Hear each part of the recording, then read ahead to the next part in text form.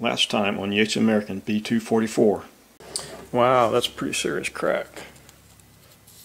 I'm not real sure what to do about that. This is a really important component. I spoke to lots of folks, including two fab shops, about repair options for this cross shaft housing.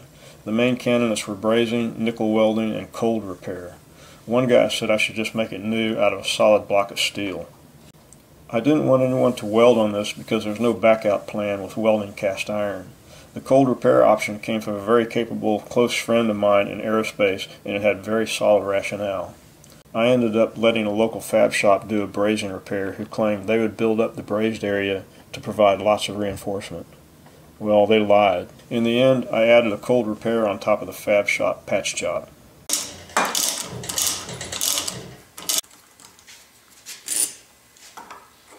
After six weeks of sitting on their front desk, the fab shop finally called and said they were finished uh, braze repairing this housing. He did nice work, but that's just not going to be a strong enough repair to prevent future failure like what already happened. So I'm going to do some work of my own. I'm going to remove this, this gusset here and smooth things out and I'm going to basically put a band around this to hold this in place and I'll fill the gaps in with uh, some aerospace epoxy.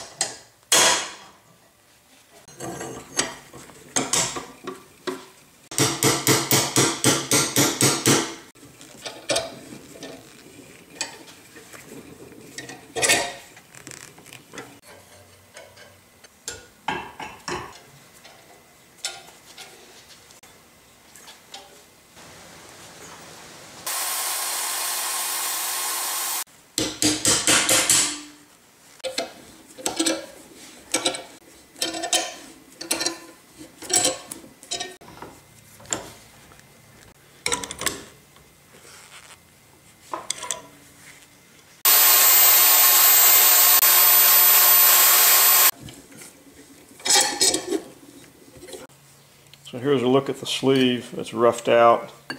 Um, I'm going to weld this and then adjust the fit a little bit and then I'll drill holes to accommodate the set screw here and the Zerk fitting here.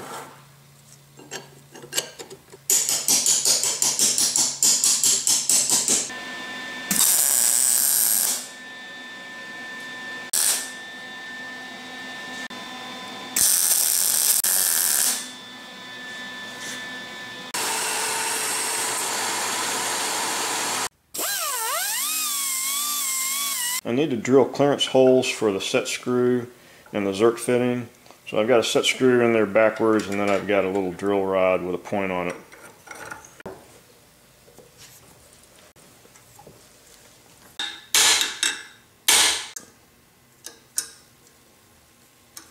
Hopefully that'll be enough to put a mark so we know where to drill. So there's the point from the drill rod and there's the distance to it. There's the center line vertically. Like a little scratch mark here. So that's where we'll drill.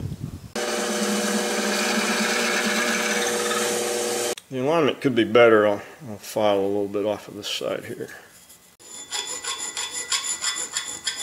Well, after a few iterations with a file, I've got these holes, these clearance holes located correctly. So the next step would be to clean it up and then put in the epoxy.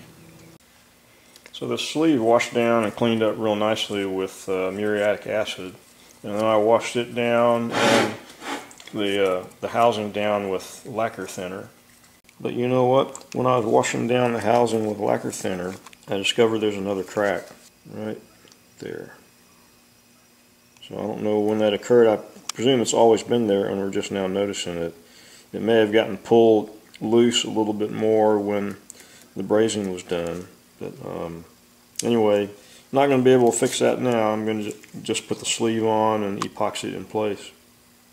This will be the last time the sleeve gets pressed on. I decided I'm going to preload that band with a couple of wedges.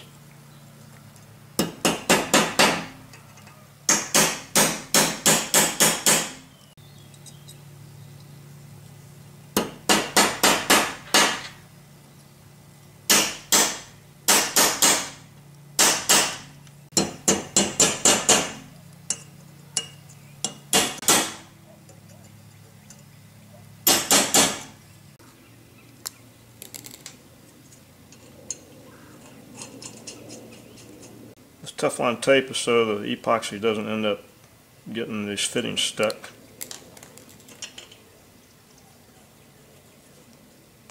I thought for sure my wife or daughters had some modeling clay I could use to, as a dam at the bottom of these uh, gaps, but I'm just going to use some electrical tape. This epoxy is Loctite 9359. It's a pretty good adhesive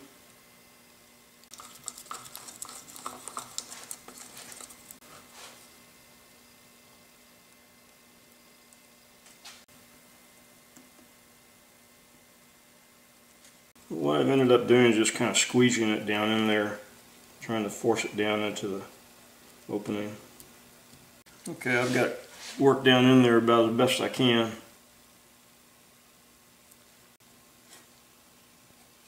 Well, the epoxy's been setting for a couple of hours and it's set up enough that I can remove this tape. I'm happy to see that it made it all the way down to the bottom of this gap. Okay, this is cured up overnight. Looks real good.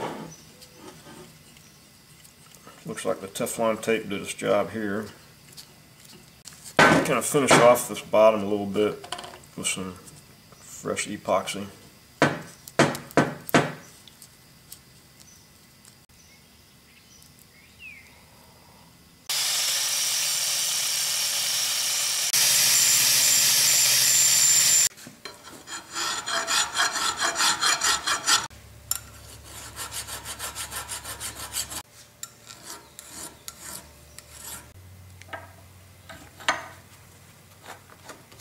Thanks again for watching Yates American B244. More repair work coming along.